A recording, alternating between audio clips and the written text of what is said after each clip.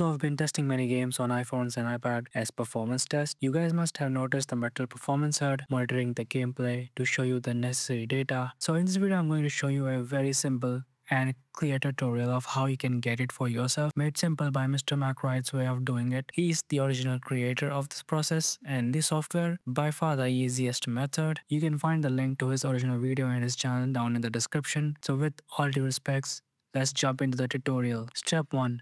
First of all you need a Mac. This doesn't work on a Windows PC yet. Step 2.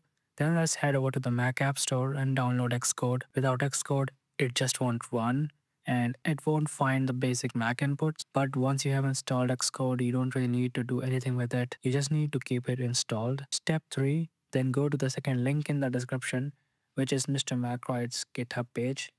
Then go over to the releases and click this link. Scroll down a bit. You will find the file named MetalHUD Mobile Config 2.5.3.dmg. Click on it to download.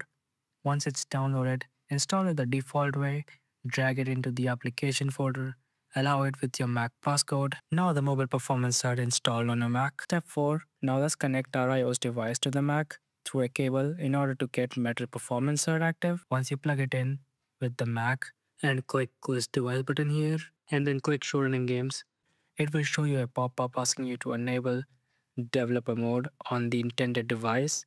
Then head over to the settings on your iPhone and scroll down to privacy and security then again scroll down a bit and you will find the developer mode under security subsection above wide accessories here.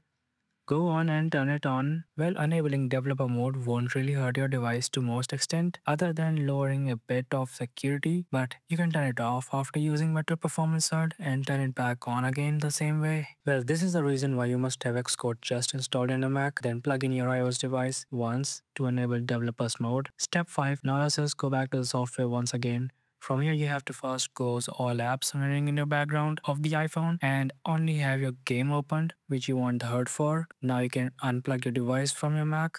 It can work wirelessly from here. And if it doesn't, just plug once again and unplug. Now click show running games button here, the second one, and wait for a couple moments. It will list the game's name in the list. Now then, close the game completely on the iPhone once it has listed on the Mac and then make sure your device is selected from the device list on top and your game should directly be here in the second box. Then select that and down here, click launch with HUD. As soon as you hit the launch button, the game will open and display the Metal Performance HUD in a few seconds. By the way, we have some settings here where we can change the location of the HUD and customize it according to what we want to display by clicking here at the HUD preset. We do get some options, but you can just go and click customs and check and uncheck the elements you want to display for your game and leave it that way. And once again, just close the app, hit the launch button and you will be having a customized metal performance HUD the, just the way you want it. Well, and that's pretty much it. Thank you Mr. MacRight for letting me make this video and enlighten my viewers as well. Check out his channel link in the description and make sure to drop a sub. And that's the story for today. Thanks for watching. See you guys in the next drop. Peace out.